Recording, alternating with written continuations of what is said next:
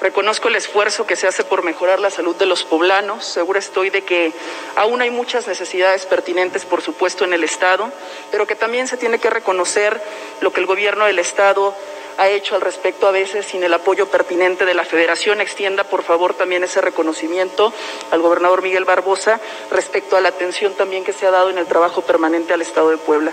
Siempre de puertas abiertas, tanto tú como tu personal. Felicidades y muchas gracias. El gobernador Luis Miguel Barbosa Huerta tuvo a bien en encomendarle la coordinación de nuestro sistema estatal de salud. Sabemos que son tiempos difíciles, donde las diferencias ideológicas se quedan atrás. Puebla se ha destacado por el manejo de la pandemia. Su trabajo para garantizar el acceso de las y los poblanos a la vacuna ha sido eficaz, porque hoy podemos asegurar que todas y todas hemos tenido las mismas oportunidades para acceder a esta vacuna sin ninguna limitación. Creemos, creemos que en Puebla se ha realizado un manejo de pandemia eficiente frente a una política nacional de salud penosa.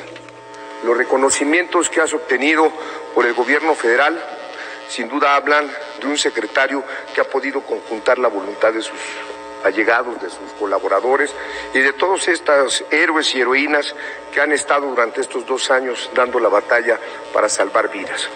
Y bueno, obviamente también es importante decir que no solamente todo se centra en el COVID, tenemos todos los temas que influyen, la consulta diaria y sabemos, eh, y sabemos que se han cumplido con con los objetivos que tiene la Secretaría de Salud. La atención a la pandemia ha sido una prioridad para este gobierno, sin escatimar esfuerzos para ello, como lo ejemplifica la intervención de usted al participar de manera personal en la inoculación de múltiples biológicos para poblanas y poblanos. El Estado de Puebla nunca colapsó. Se brindó la atención necesaria a patologías no COVID.